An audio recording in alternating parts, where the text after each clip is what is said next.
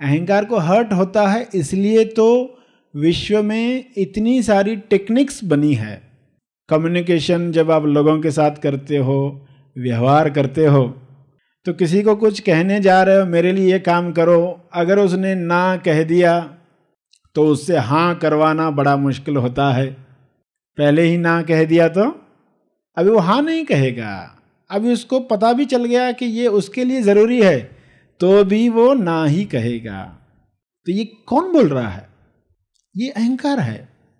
जिस वजह से इंसान अपना मंगल भी अस्वीकार कर देता है, अहंकार ये कर सकता है। बड़ा फ्रजाइल है, जल्दी हर्ट हो जाता है, जल्दी चोट पहुँचती है।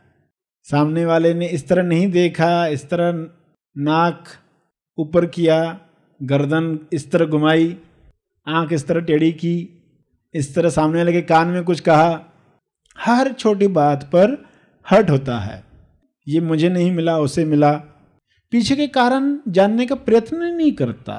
कभी कहता ही नहीं अपने आप को, कहीं ये मेरा अनुमान तो नहीं। पूरी बात समझ तो लूँ, पूर्णता कर तो लूँ, उसके बाद डिसाइड करूँ कि सामने वाले ने मुझे नीचा दिखाने के लिए ये किया या उसके पीछे इंटेंशन या भाव कुछ और था। अगर लोग भाव देख पाते तो विश्व में जितने झगड़े हो रहे हैं, बिल्कुल नहीं होते। कह रहा है शब्द जो नेगेटिव लग रहे।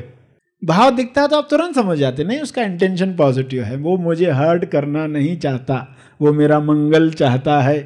ये अगर दिखाई दे तो कहाँ झगड़े होने वाले? नहीं होगे। मेरी दिखाई नहीं देता तो सामने वाले ने कुछ कहा नहीं, कि अनुमान लगा नहीं, कि तुरंत पिछली बार उसने ऐसा किया था, अभी भी उसका वही इंटेंशन रहेगा, ये ऐसा ही करता है, ऐसा ही चाहता है, ये मेरा शुभ चिंतक नहीं है। कितना कुछ सोच लेता है, और बाद में पता भी चलता है। मगर अनुमान लगाने की हैबिट नहीं टूटती। बाद में पता चलता है, फिर वो भूल जाता जल्दी। अपनी मूर्खता जल्दी भूल जाता है, अहंकार ये करता है। सभी को शुभेच्छा हैप्पी थॉट्स यूट्यूब द्वारा कई दर्शक कई महीनों से निरंतरता से सुन रहे हैं। आज भी नए दर्शक जुड़े हैं। उन सभी का हम तेज ज्ञान फाउंडेशन में स्वागत करते हैं। तेज ज्ञान फाउंडेशन एक आध्यात्मिक संस्था, उच्चतम विकसित समाज का निर्माण करना तेज ज्ञान फाउंडेशन का लक्ष्य है। तेज ज्ञान फाउंडेशन के संस्थापक sir Shri the enlighten master जिनके मार्गदर्शन से, जिनके ग्रंथों से आज लाखों लोगों के जीवन में परिवर्तन आया है। हम अधिक जानकारी तेज ज्ञान फाउंडेशन के वेबसाइट पर जाकर ले सकते हैं। अलग अलग विषयों पर सरशी जी मार्गदर्शन देते हैं। आज इस क्षण हमारे लिए मार्गदर्शन का एक बहुत सुंदर विषय है। आज का विषय है, अहंकार मुक्त अनन्य जीवन कैसे जिए? मेरा, मीरा और एक लव्य का भाव। I am nothing so I am fearless आइए, ग्रहणशील होते हैं और आज के विषय में प्रवेश करते हैं। एक छोटा समय जो हम दे रहे हैं हंड्रेड परसेंट दे, ताकि हम विषय को अपने अंदर ग्रहण कर पाएँगे। आइए ग्रहणशील होकर सुनते हैं आज का विषय। तब तक के लिए धन्यवाद। हैप्पी थॉट्स शब्द आप पढ़ते हो किसी कागज़ पर? अलग अलग शब्द है। लाल स्याही से, काली स्याही से, हरी स्याही से, नीली स्याही से, पीली स्याही से अलग अलग शब्द लिखे हैं। क्या लिखा है? कोई भी एक उदाहरण लिखा है।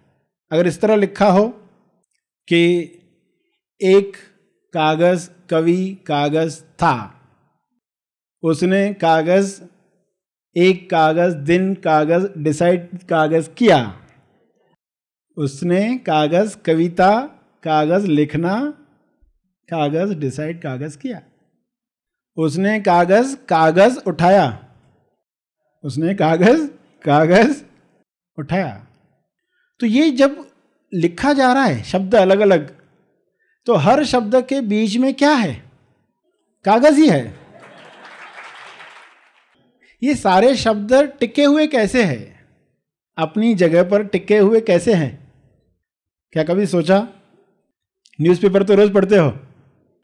मगर ये शब्द किस पर टिके हुए हैं? अगर कागज़ ना होता तो शब्द कैसे टिकते? तो ये जो शब्द कहा, शरीर के प्रतीक, ये शरीर अलग अलग कोई लाल है, कोई काले है, झगड़े होते शब्दों के बीच में, क्योंकि अलग अलग दिखते ना। शब्द अलग दिखते उनका आकार अलग दिखता है, उनका रंग अलग दिखता है, उनका अर्थ अलग दिखता है।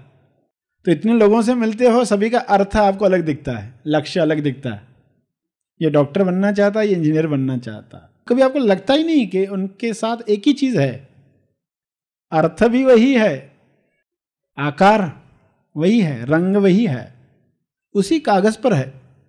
कागज़ न होता, ये शब्द न होते हैं। और फिर उन शब्दों के पीछे सिर्फ़ बीच में कागज़ है, ऐसा मत समझना। उन शब्दों के पीछे भी कागज़ है।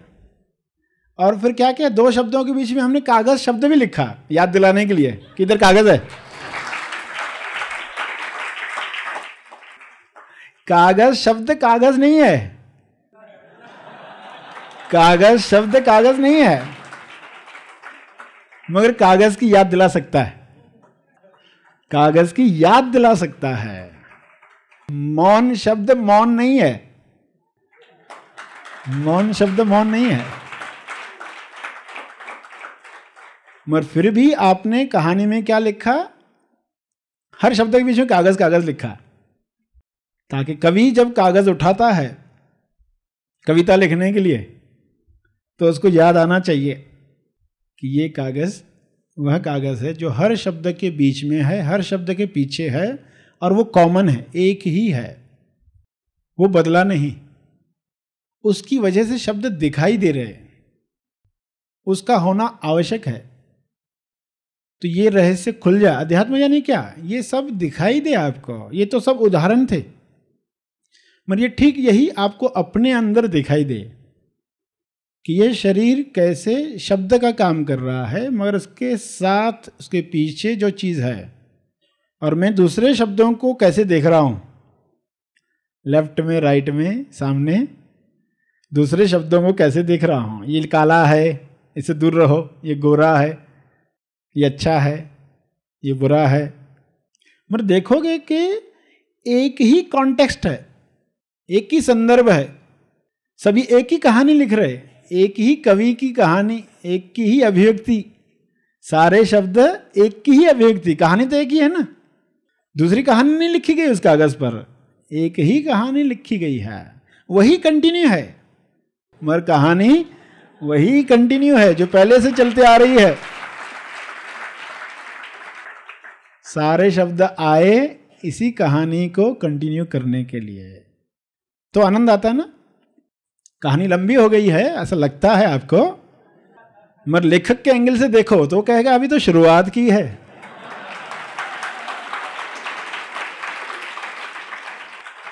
लेखक कहेगा, अरे, अभी इतनी मज़ेदार बातें होनी है। अभी तो ट्विस्ट आना है यू टर्न आना है। अभी तो क्या क्या होना है स्टोरी में? और आपको लगेगा, अरे, इतना 2000 साल पहले जीसस आए थे। 2500 साल पहले बुद्ध आए थे। हो गया ना बहुत? मगर लेखक के एंगल से देखो, वो कहेगा तो अभी कहानी शुरू हुई है, अभी अलग अलग ढंग से अभिव्यक्ति हो रही मीरा के शरीर से अलग अभिव्यक्ति हुई, कबीर के शरीर से अलग अभिव्यक्ति हुई। चैतन्य महाप्रभु, रामकृष्ण परमहंस, रमण महर्षि अलग अलग ढंग से अभिव्यक्ति हो रही है। अभी तो और कितनी अभिव्यक्तियाँ बाकी है? अभी तो शुरुआत हुई है, अभी तो शिखर आगे है। तो लेखक के एंगल से देखना अध्यात्म है। कहाँ से देखना? अध्यात्म है। नॉर्मल होना अध्यात्म है। तो फिर शब्द एक ही कहानी कह रहे यानी इतने शरीर आपको दिख रहे मगर सभी एक ही कहानी कह रहे हैं। हमें तो दिखते नहीं दिखता ऐसा। अगर ये दिखने लग जाए तो किसी को अलग कार्य करते हुए आप ये सोचोगे क्या कि ये मेरा कार्य नहीं कर रहा? आप ये कहोगे? नहीं कहोगे? अरे वही कार्य कर रहा है। वही कार्य जो आप कर रहे हो, दिखाई चाहे अलग दे। दिखाई अलग देगा तो क्या? आप सत्य को भूल जाओगे, सत्य को ठुकरा दोगे। कोई भी ऐसा नहीं चाहेगा। कहेगा, हर एक चाहता है मुझे सच्चाई बताई जाए। लोग आपस में झगड़ते, मेरे को क्यों नहीं बताया? ये पहले ही क्यों नहीं बताया? देखते हो ना लोगों को? झगड़ते, जल्दी मुझे क्यों नहीं बताया? टाइम पर क्यों नहीं बताया? सभी सच्चाई सुनना चाहते, जो भी हो रहा है, मुझे जल्दी बताओ। जल्दी एसएमएस करो। जल्दी बताओ। हर एक को सच्चाई में इंटरेस्ट है। जल्दी पता चले। थोड़ा लेट भी बताया तो गुस्सा आता है। मुझे पहले बताता तो ये नहीं होता, वो नहीं होता, मैं इतना परेशान नहीं होता। जल्दी बताना चाहिए था। तो वैसे ही सत्य जानने की अर्जेंसी आए। जल्दी पता चले। हम बिना सत्य नहीं जी सकते। ऐसा जीवन नहीं जीना चाहते, जहाँ बहुत लेट इंफॉर्मेशन मिले। तो सभी एक ही कार्य कर रहे हैं, ये पक्का हो जाए। अहंकार मगर नहीं चाहता कि सब एक हो जाए। क्योंकि वो चाहता मैं अलग दिखूं, मैं अलग दिखूं। ऐसा लेबल मुझे मिले। मिस यूनिवर्स ऐसा ताज दिखे अलग दिखूं दूसरों से। अहंकार ये चाहता, अहंकार चाहता मैं सबसे अलग दिखकर हाईलाइट हो जाऊँ। अहंकार अपने आप को अलग करना चाहता। है गुरु भी क्या करते हैं? अहंकार को अलग करते हैं। काम दोनों वही करते हैं। मगर फ़र्क है, फ़र्क क्या है? अहंकार अपने आप को अलग करके, अपने आप को हाईलाइट करना चाहता है। गुरु अहंकार को अलग करके डिमलाइट करना चाहता है। अहंकार को हाईलाइट नहीं है, इसकी डिमलाइट करनी है। अहंकार को हर्ट होता है, इसलिए तो विश्व में इतनी सारी टेक्निक्स बनी है। कम्युनिकेशन जब आप लोगों के साथ करते हो, व्यवहार करते हो तो किसी को कुछ कहने जा रहे हो, मेरे लिए ये काम करो। अगर उसने ना कह दिया तो उससे हाँ करवाना बड़ा मुश्किल होता है। पहले ही ना कह दिया तो? अभी वो हाँ नहीं कहेगा। अभी उसको पता भी चल गया कि ये उसके लिए ज़रूरी है तो भी वो ना ही कहेगा। तो ये कौन बोल रहा है? ये अहंकार है। जिस वजह से इंसान अपना मंगल भी अस्वीकार कर देता है। सिर्फ़ लोगों को दिखाने के लिए, अपना महत्व जताने के लिए सत्य को भी ठुकरा देता है। इससे बड़ी मूर्खता क्या होगी? अहंकार ये कर सकता है। बड़ा फ्रजाइल है। जल्दी हर्ट हो जाता है। जल्दी चोट पहुँचती है। सामने वाले ने इस तरह नहीं देखा, इस तरह नाक ऊपर किया गर्दन इस तरह घुमाई, आँख इस तरह टेढ़ी की, इस तरह सामने के कान में कुछ कहा, हर छोटी बात पर हर्ट होता है। ये मुझे नहीं मिला, उसे मिला। पीछे के कारण जानने का प्रयत्न नहीं करता। कभी कहता ही नहीं अपने आप को, कहीं ये मेरा अनुमान तो नहीं। पूरी बात समझ तो लूँ, पूर्णता कर तो लूँ, उसके बाद डिसाइड करूँ। कि सामने वाले ने मुझे नीचा दिखाने के लिए ये किया, या उसके पीछे इंटेंशन या भाव कुछ और था। अगर लोग भाव देख पाते तो विश्व में जितने झगड़े हो रहे हैं, बिल्कुल नहीं होते। यदि भाव दिखाई देते, यानी सभी लोगों के चारों तरफ़ जो आभा मंडल है उसमें लोगों को भाव दिखाई देते कि ये रंग दिख रहा है, इसके चारों तरफ़, यानी इसका भाव पॉजिटिव है। कह रहा है शब्द जो नेगेटिव लग रहे भाव दिखता है तो आप तुरंत समझ जाते नहीं, उसका इंटेंशन पॉजिटिव है। वो मुझे हर्ट करना नहीं चाहता, वो मेरा मंगल चाहता है। ये अगर दिखाई दे तो कहाँ झगड़े होने वाले? नहीं होगे। मेरी दिखाई नहीं देता तो सामने वाले ने कुछ कहा नहीं, कि अनुमान लगा नहीं, कि तुरंत पिछली बार उसने ऐसा किया था, अभी भी उसका वही इंटेंशन रहेगा, ये ऐसा ही करता है, ऐसा ही चाहता है, ये मेरा शुभ चिंतक नहीं है। कितना कुछ सोच लेता है और बाद में पता भी चलता है। मगर अनुमान लगाने की हैबिट नहीं टूटती। बाद में पता चलता है, फिर वो भूल जाता है, जल्दी। अपनी मूर्खता जल्दी भूल जाता है, अहंकार ये करता है। मगर जहाँ अहंकार समर्पित होने लगता है, वहाँ वो याद रखता है। पिछली बार यही मूर्खता हुई थी, यही गलती हुई थी। अब ये गलती न हो। अब अपनी हानि नहीं करनी है। सचमुच तेज स्वार्थी कौन? स्व का अर्थ स्वार्थी। जो स्व का अर्थ जानता है, वो तेज स्वार्थी है। जो तेज स्वार्थी होगा, कभी भी ऐसी मूर्खता नहीं करेगा, जिससे उसके अंदर जो सेल्फ है, स्व साक्षी है। वह असंतुष्ट हो जाए, क्योंकि उसकी संतुष्टि के लिए सारा कार्य चल रहा है। वह संतुष्ट हुआ तो आपके अंदर पूर्णता की फीलिंग आती है, संपूर्ण लक्ष्य प्राप्त हुआ, ऐसी फीलिंग आती है। वरना कभी लगेगा नहीं कि हमने कुल मूल उद्देश्य पाया, पृथ्वी पर आए, सब कुछ किया, सिर्फ़ अपना उद्देश्य प्राप्त नहीं किया, बाकी सब कुछ किया, और चले गए। तो जब पता चलेगा तो अपनी मूर्खता पर रोना आएगा। क्या होगा? तो अगर काश किसी ने उस वक्त याद दिलाया होता, काश किसी ने संकेत किया होता, किसी ने एक बार तो बताया होता आजू बाजू में ऐसे लोग क्यों थे जो नहीं जानते थे? किसी ने तो इशारा दिया होता कुलमूल उद्देश्य का। तो अगर भाव दिखाई देते, युद्ध नहीं होती, मगर भाव दिखाई नहीं देते हैं। क्योंकि खंडित जीवन है, भाव, विचार, वाणी, क्रिया अलग अलग दिशा में जा रहे इसलिए हमारे जीवन में खंडन है। और खंडित जीवन जीने वाला कैसे जी रहा होगा? कितनी परेशानियों में होगा? क्या आप अंदाज़ा लगा सकते? जिसके भाव, विचार, वाणी, क्रिया अलग अलग हैं, वो कैसा जीवन जी रहे होंगे?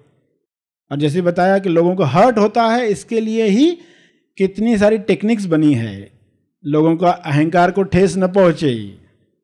कितने सारे बुक्स लिखे गए how to win friends and influence people तो वो पढ़कर देखोगे तो यही होगा कि सामने वाले के अहंकार को कैसे पुष्टि मिले तो वो आपके कार्य करे। तो how to be friend how to win friends वाली बात नहीं थी। आप कैसे मित्र बनो? क्या सच्चाई जानो कि सब जुड़े हुए हैं? सच्चाई जानकर अगर यही कार्य होता है तो फिर हमारे रिश्ते कैसे होंगे? फिर आपको इन्फ्लुएंस करने की आवश्यकता नहीं पड़ेगी। इसको इन्फ्लुएंस करूँ, इसको आकर्षित करूँ, फिर आप जो हो, वो बनकर लोगों के सामने जाओगे। तो ऑटोमेटिक होने वाला है। सभी आकर्षित इसलिए होने वाले हैं क्योंकि वह भाव कम्युनिकेट होता है। आपका जीवन ही लोगों को बताता है। मगर ये नहीं पता तो तब तक क्या किया जाए? तब तक अहंकार के लिए कुछ टेक्निक्स बनाना आवश्यक है? उनका भी रोल है। हर स्टेज पर अलग अलग रोल है। तो ये टेक्निक्स गलत है ऐसा नहीं बताया? हर टेक्निक का अपना महत्व है, मगर जैसे जैसे हायर की तरफ़ जाओगे तो आप हायर का उपयोग लोअर के लिए नहीं करोगे लोअर का उपयोग हायर के लिए करोगे। उन टेक्निक्स का भी इस्तेमाल लोगों को सत्य पर लाने के लिए करोगे तो सांप को भी सीढ़ी बनाना सीखोगे। यही ट्रेनिंग दी जा रही है। आपको साफ़ साफ़ दिखाई दे, फिर आपके अंदर जो डर है, वो समाप्त हो जाएँगे। अखंड जीवन में डर, मान्यताएँ पैटर्न्स खत्म हो जाएँगे। घोषणा क्या निकलेगी कि अभी हमें कोई हरा नहीं सकता। अहंकार भी यही घोषणा करता है। अहंकार भी यही घोषणा करता है। मुझे कोई हरा नहीं सकता। और एक बॉडी में जहाँ समर्पण हुआ, वो भी कहता है, मुझे कोई हरा नहीं सकता। वो क्यों कहता है, मुझे कोई हरा नहीं सकता? अहंकार कहता है, मुझे कोई हरा नहीं सकता because I have this that money power chair वो क्या कहेगा? I have I have this and that और जहाँ समर्पण हुआ मन का, वहाँ क्या होगा? कि मुझे कोई हरा नहीं सकता बिकॉज़ आई एम नथिंग जब कोई पर्सन पहले ही हारने को तैयार है, पहले ही हारने को तैयार है, उसको आपने हराया तो हकीकत में वो जीत गया। क्योंकि वो वही चाहता था। वो अपना अहंकार हारना चाहता था और अहंकार हार गया तो वो जीत गया। इसका अर्थ वो जीत गया ना। जो चाहता था वही हुआ। दाय विल इज़ माय विल जब इंसान कहता तो जो भी होगा तो कहेगा, यही तो मेरी विल थी, यही तो मैं चाहता था तो जीत ही गया। विश्व में जो भी हो रहा है कि यही तो मैं चाहता था, इसलिए जीत गया। अब कौन हरा सकता? है जब ऐसी अवस्था आ गई। मेरा अहंकार कहेगा कि मुझे कोई नहीं हरा सकता कि मेरी पहचान, मेरे कॉन्टेक्ट्स है। मर, आज कॉन्टेक्ट है, कल टूट गए। न्यूज़पेपर में यही तो पढ़ते रहते हो ना? ये पार्टी टूट गई, वो पार्टी टूट गई, इसका ये कॉन्टेक्ट टूट गया, इसका ये कॉन्टेक्ट टूट गया, झगड़े चल ही रहे हैं। वो ये नहीं कह पाएँगे, मुझे कोई नहीं हरा सकता। वो ये नहीं कह पाते। कहेंगे तो अंदर से डर रहे हो बाहर पब्लिक को बताने के लिए बोले, मैं अंदर से डर रहे हैं। पता नहीं कल कोर्ट छोड़कर जाए, ये छोड़कर चला जाए। पता नहीं कल क्या हो जाए। इलेक्शन में हार जाए। जमानत जब्त हो जाए। डरे हुए। जो भी समथिंग है, वो डरा हुआ है। जो नथिंग है, वो निडर है। अगर आप कहते हो, मैं भाई हूँ, बहन हूँ, पति हूँ, बीवी हूँ बॉस हूँ, नौकर हूँ तो आप कुछ बन गए। कुछ बन गए तो डर है। जब भी आप कुछ है तो समझना डर होगा ही। जिस दिन आप महसूस करने लग जाओगे कि आई एम नथिंग बोलने के लिए ठीक है, लोगों के लिए तो आपको बोलना है, मैं ये हूँ, मैं वो हूँ। मगर अंदर से आप जान रहे हैं कि आई एम नथिंग इसलिए आपको डर नहीं है। एक फकीर था जो भीख माँगता था, जो मिलता था खाना, खुद खाता था, अपनी माँ को खिलाता था, उसकी माँ बूढ़ी थी, झोपड़े में रहते थे। एक दिन भीख में एक रुपया ज़्यादा मिल गया। खाना भी मिला, एक डॉलर, एक सिक्का मिल गया, एक रुपये का। वो लेकर आया। माँ को दिया आकर माँ बड़ी खुश हो गई। उसने झोपड़े में संभाल के रखा और उस दिन से उस फकीर को वो बाहर सुलाती थी झोपड़े के। कि बाहर से कोई चोर भी ना आ जाए, कोई चोर ना आ जाए तो बाहर सोया कर। दो चार दिन वो सोया, बोला, बड़ी मुसीबत हो गई, एक रुपया क्या मिल गया? बड़ी मुसीबत हो गई, रात की नींद खराब हो गई। फिर बोला, अभी क्या करना चाहिए? अब ये एक रुपया चोरी जल्द से जल्द हो जाए। इसलिए वो निकल पड़ा और हर एक से पूछ रहा था, किसी चोर का पता तो दो। किसी चोर का एड्रेस दो। और लोग पूछ रहे तो किस चोर का पता है मांग रहा है? आज तक किसी ने पूछा नहीं भागा नहीं। क्यों चाहते हो किसी चोर का पता है? तो कहता मैं चाहता हूँ वो मेरे घर से एक रुपया चोरी करके जाए, ताकि मैं आराम से सोऊं। कहानी से समझा कि जब कुछ है तो डर है। जब कुछ नहीं है तो डर नहीं है।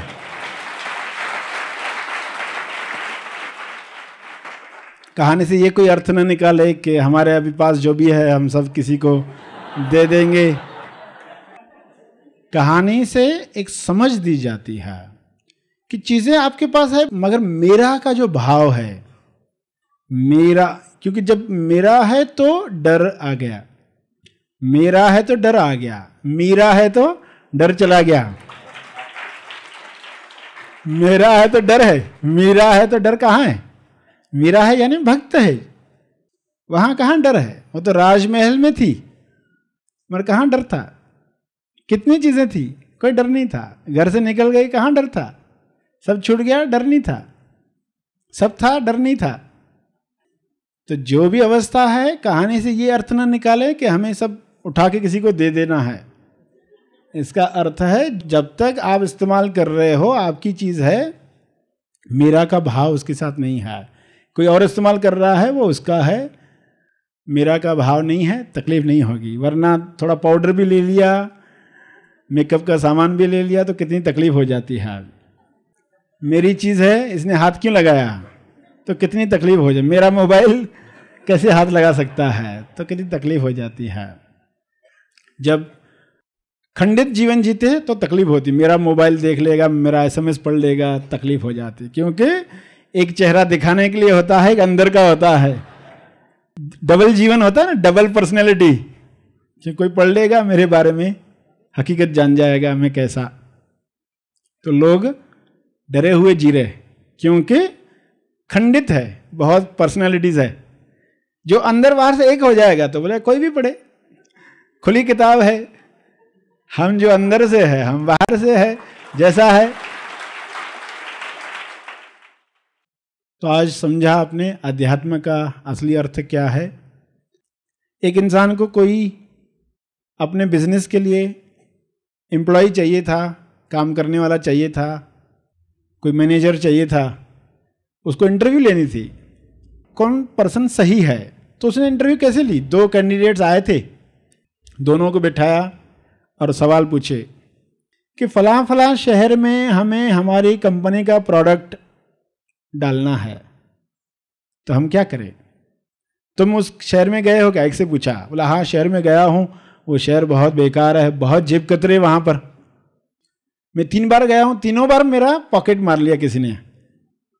तीनों बार किसी ने पॉकेट मार लिया। अच्छा अच्छा ऐसा है। और क्या है? फिर वहाँ रहने की व्यवस्था, कहाँ रहते हो? आप जाते हो तो किसी होटल वगैरह में रहते? खाना भी वहाँ का अच्छा नहीं आप वहाँ प्रोडक्ट लॉन्च करो ही मत। क्या कहता है? प्रोडक्ट लॉन्च मत करो वहाँ। खाना इतना बेकार है। तीनों बार मैं बीमारी हुआ हूँ। यहाँ आया वापस तो मेरा पेट खराब हुआ ही है। अच्छा दूसरे से पूछा, भाई, आपका क्या कहना? तुम कभी गए हो शहर? हाँ मैं भी गया हूँ और ये जो कह रहा है, बिल्कुल सही है। वहाँ वाकई जेब कतरे है। मेरा भी पर्स किसी ने चुरा लिया। दूसरी बार मुझे बहुत सजग रहना पड़ा। तब मेरा पर्स बच पाया। दूसरी बार मैं बहुत सजग रहा। तब मेरा पर्स बच गया। और खाना भी वैसा ही है, होटल्स का। गंदगी है, सफ़ाई नहीं है। मुझे भी तकलीफ़ हो गई। मगर अगली बार से मैं अपना टिफ़िन लेकर जाता हूँ। दूसरी बार गया, टिफ़िन लेकर गया। तो उस इंसान ने, मालिक ने उसको चुन लिया। क्यों चुन लिया? क्योंकि ये गलतियों से सीखता है। ये गलतियों से सीखता है। इसकी जेब तीन बार कट गई है। हद मूर्खता है। पता है शहर में ये होता है, फिर भी ध्यान किधर है? माया में ऐसा होता है, पता है, फिर भी ध्यान किधर है? गलतियाँ करो, ठीक है, मगर वही वही गलतियाँ हो रही, इसका अर्थ क्या है? किसको चुनोगे आप दोनों में से? जो अपनी गलतियों से सीख रहा या अभी टिफ़िन लेके जाता है, पेट खराब होता है तो। जानता है। गलती से सीख गया।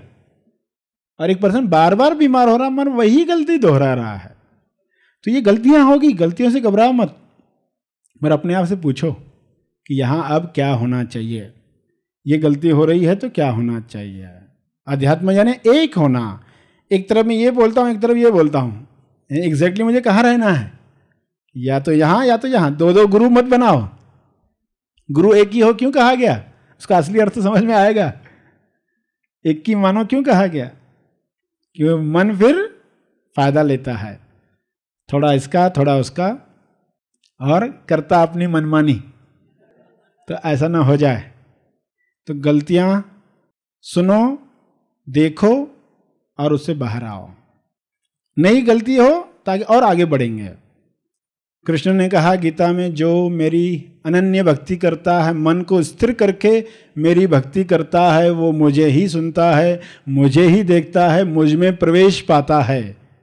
जब उन्होंने ये कहा तो अध्यात्म का यही डेफिनेशन कहा, जो अनन्य भक्ति, यानी अन्य नहीं है जहाँ, एक ही दिशा में मन को स्तर करके एकाग्रत करते, यानी एक एकाग्रत एक करके खंडित नहीं। मन का एक हिस्सा इधर लगा हुआ है, मन का एक हिस्सा उधर लगा हुआ।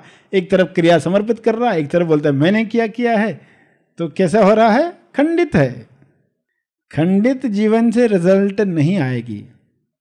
अखंड होकर रिज़ल्ट आएगी। फिर कृष्ण ने क्या कहा कि वही सदा मुझे सुनता है।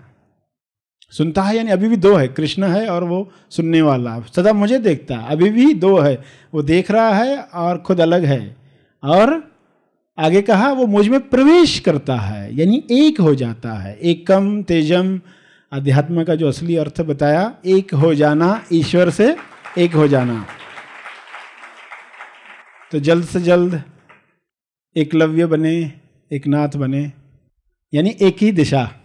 अंतराल का महत्व बताया, कागज़ में दो शब्दों के बीच में अंतराल। पर फिर भी कागज़ लिखना पड़ा, ताकि याद आए, कागज़ कागज़ नहीं है, कागज़ शब्द कागज़ नहीं है, मौन शब्द मौन नहीं है, ओम शब्द ओम नहीं है।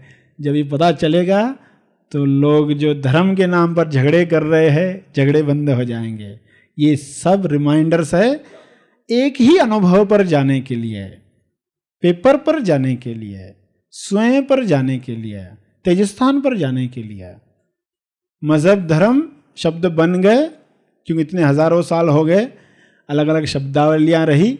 मगर आज अलग शब्दावली सुनकर लोग सोचते, ये अलग धर्म के, ये उर्दू इस्तेमाल करते, ये अलग है, ये संस्कृत इस्तेमाल करते, ये अलग है। ये जैन है, ये बौद्ध है। मगर हकीकत में शब्दों की लिमिटेशन है। उसको समझो। शब्द वरदान है, अभिशाप नहीं है, मगर अभिशाप बन चुके हैं। तो नए शब्दों के साथ आज आपको कुछ बताया गया। सेवा का मौका दिया। इसके लिए आप सबका बहुत बहुत धन्यवाद हैवी थॉट्स मार्गदर्शन का लाभ हमने लिया। सुनते सुनते हम एक का ही अनुभव कर रहे थे। अध्यात्म की गहरी बातें आज हमने सुनी है। आइए, कुछ सूचनाएँ हैं, वो सुनते हैं और प्रार्थना में जुड़ते हैं। तेज ज्ञान फाउंडेशन का मुख्य रिट्रीट होता है महा आसमानी परम ज्ञान शिविर। ये फ्लैगशिप प्रोग्राम है। इस शिविर को जिस भी उम्र में खोजी करता है, वो कहता है कि काश कुछ साल पहले जब मुझे पहला मैसेज मिला, तब मैंने ये रिट्रीट किया रहता। तो अब चलो, आपको भी मैसेज मिल रहा है। यूट्यूब के दर्शक जो भी सुन रहे हैं इस क्षण, यदि उन्होंने इस रिट्रीट को नहीं किया है, आज ही रजिस्टर करें। यदि हम चाहते हैं कि हमारा जीवन सीधा, सरल, शक्तिशाली बने, कि हमारे जीवन का हर स्तर, शारीरिक स्तर, मानसिक स्तर, सामाजिक हो, आर्थिक हो और आध्यात्मिक, इन सभी स्तरों में यदि हम उन्नति चाहते हैं तो हमें करना चाहिए महा आसमानी परम ज्ञान शिविर। मैं कौन हूँ? मैं पृथ्वी पर क्यों आया हूँ? मोक्ष क्या है? मैं जो जीवन जी रहा हूँ, क्या यही जीवन मैंने जीना है? या इसके अलावा कोई जीवन है? इन सारे सवालों का जवाब मिलता है महा आसमानी परम ज्ञान शिविर में। Self development to self realisation towards self stabilisation वैसे ये निवासी शिविर है। मनन आश्रम पर लोग पाँच दिन आते हैं, रहते हैं और इस रिट्रीट का आनंद लेते हैं। मगर जो कि अब लॉकडाउन का समय चल रहा है तो इसका ऑनलाइन हमने आयोजन किया है। पाँच दिवसीय रिट्रीट होता है, जिसका पहला पड़ाव जो होने जा रहा है 20 और 21 नवंबर को। दोपहर को एक बजे से लेकर शाम को साढ़े पाँच बजे तक उसका लाभ हम ले सकते हैं, हम अपने फ्रेंड्स रिलेटिव्स को इसके साथ जोड़ सकते हैं। फिर अगली जो सूचना है, तेज ज्ञान फाउंडेशन का ऐप है voice of happy thoughts app इस ऐप को हम रजिस्टर करें। इसमें हम पाएँगे कई सारे ध्यान, भजन, प्रवचन, स्वसंवाद और लगभग छह घंटे से ऊपर एक्सरसाइजेज है, जिसका लाभ हम इस ऐप द्वारा ले सकते हैं। तो कई सारी चीज़ें इसमें इकट्ठा की गई है, ताकि संसार में रहते हुए भी हम सत्य के साथ कैसे रह सकते हैं। ऐसी चीज़ें हमें रिमाइंडर देती है। तो voice of happy thoughts app का हम अवश्य लाभ लें। नीचे दिए गए नंबर्स पर हम अवश्य सब्सक्राइब करें। फिर अगली जो सूचना है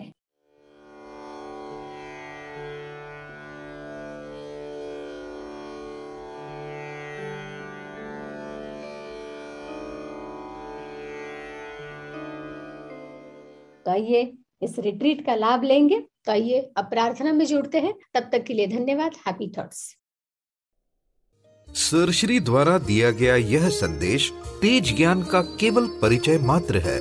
तेज ज्ञान नहीं, तेज ज्ञान। सरश्री महा आसमानी परम ज्ञान शिविर में प्रदान करते हैं। इसका असली आनंद आप शिविर में भाग लेकर ले सकते हैं। यह शिविर आप ऑनलाइन भी कर सकते हैं।